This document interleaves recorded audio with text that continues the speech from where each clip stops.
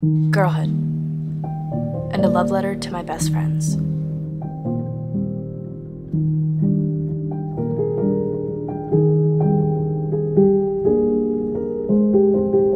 And suddenly it's February. And you're not a kid anymore. And you haven't been a kid in a long time.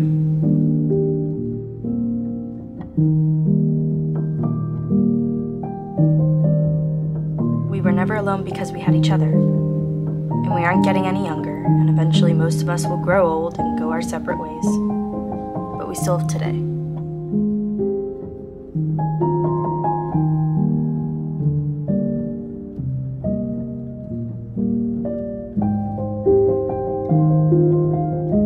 But if I've learned anything over the past 18 years of my life, it's that aging means you've lived.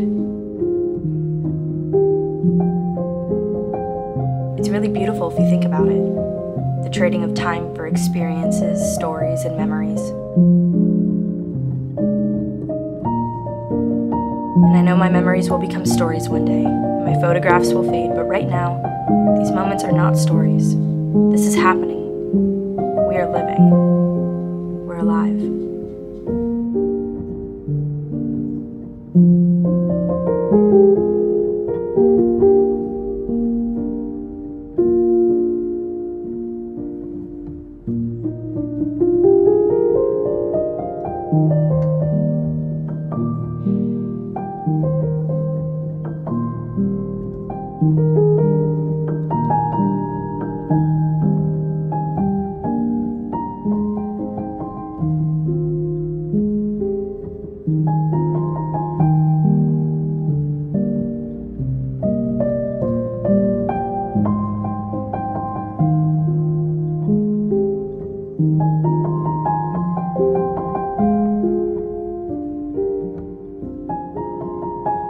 Why I bring my camera everywhere I go. I try to capture as much as I can so that one day, when I'm old and frail and my grandchildren ask me what I did back in the day, I can show them that I lived.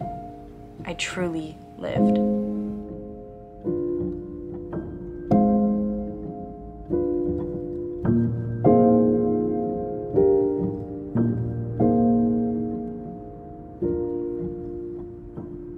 And it wasn't so scary anymore. My life was just beginning. And I can't wait to see where it takes me.